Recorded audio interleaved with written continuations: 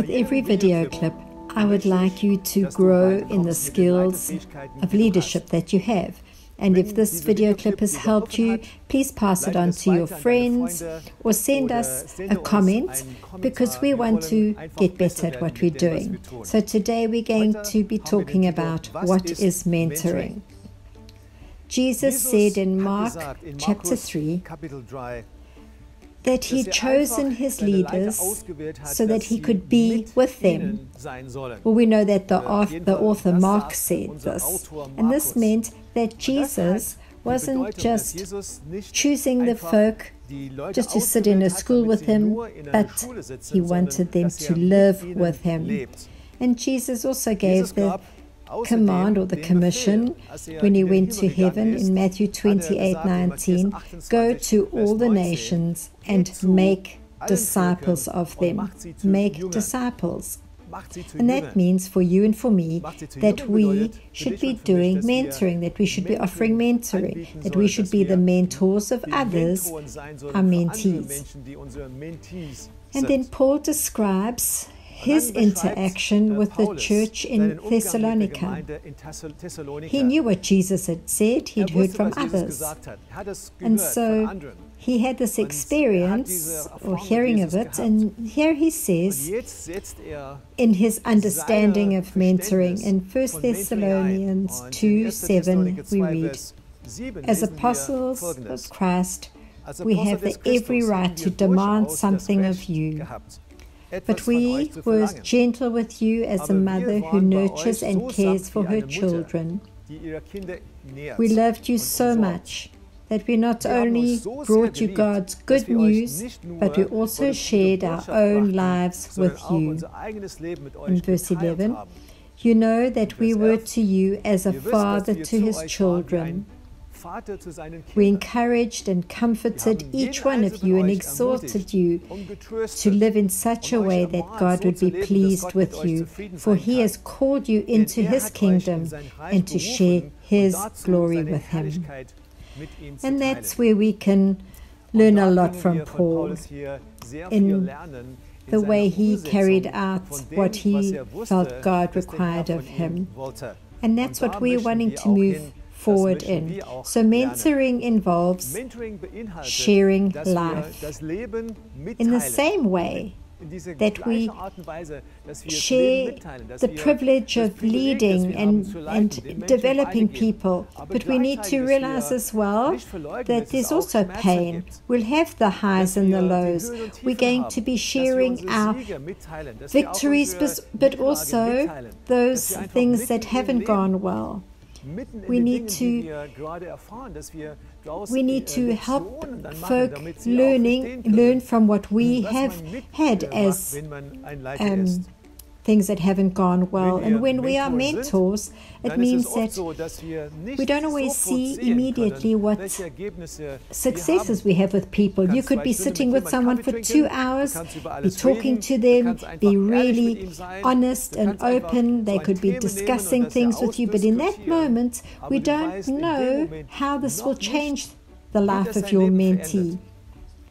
On the other hand, sometimes we see the sum of what we've given, the, the inputs, and we can see how the life the lives are changed. And this is what mentoring means. Mentoring for me means the interpreting of the mentee's life and faith experiences so he or she can grow in, deve- in devotion and relationship with God.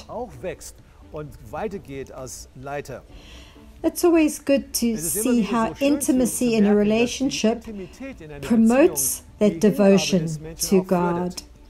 And I'm often asked, how, how can I improve or develop the commitment in my team? And I always ask, how much time do you spend with your team? The moment you spend more time, that intimacy in the relationship does grow, and that helps promote growth with each person in your team. So, what does mentoring mean concretely? I think it means we need to teach. We need to have a topic. What Äh, functions really well in the church where I have responsibility, we've had topics, themes, and later on we one to one actually have feedback. We chat together so that there's there's a focus, there's direction. I feel it's very important that we have transparency and that we develop this this uh, transparency. There's no need. What's the point of meeting one to one if there's no honesty? There has to be honesty on my part, but also on the part of the one who's in that mentoring relationship with me. They need to be able to say, Well, this is how I am at the moment. These are my battles, these are my challenges. And some chats that I've had in the past, or the best chats I've had, when someone has come to me with a problem and said, I'm, I'm battling at the moment, and it hasn't actually been the topic that we were planning to share with each other, but it's it just flowed out of their hearts in that moment, and this really helped them. And that's why it's so so important that a mentor listens. You need to listen to someone who you are wanting to help. You need to help them to help, uh, in their problem. You need to listen. It's pointless having a one-to-one chat when you're doing all the talking and you're just telling him what to do. That's not a healthy, effective relationship. I think that the mentor also needs to be able to ask those tough questions and really honest, tough questions.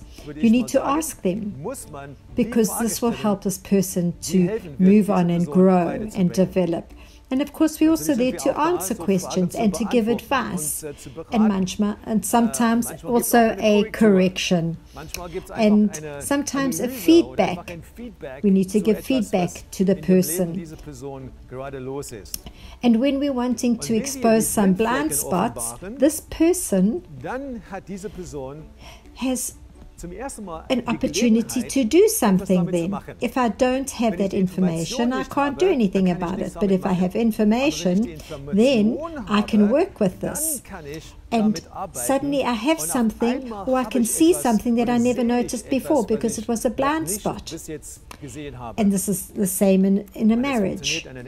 I'm a better leader today because I have my wife. And I noticed, I've noticed that there have been things in my life that were not in order. And I also see that yeah, right in the beginning, but even now, there are things I need to, where I need to grow. And there's some things that I didn't even realize in the beginning, but the feedback has helped me. It exposes my blind spots and I can do something about it. And that's why mentoring is so helpful. It's also about giving a future perspective for those that we are working with. We turn fear into courage. We listen to their dreams. And so we can help set goals. We need to create trust. I am with you. And now you may say, well, Wayne, this sounds so time intensive. Who has the time really for all of this? Then I want to say at this point, firstly, every relationship, every intensive relationship that you have can have a limited time. You may say, look, it's for six months or for 10 months or for a year, and then it will come to an end. Or else it's important that you say, this relationship is so important for me for the development of my team that I'm prepared to invest my time. And I think it's important enough to develop and or to invest this time.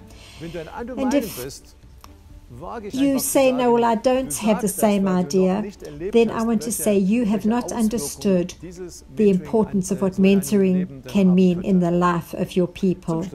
Isaac Newton, Newton said, If I have seen more than others, the reason is that I have stood on the shoulders of giants.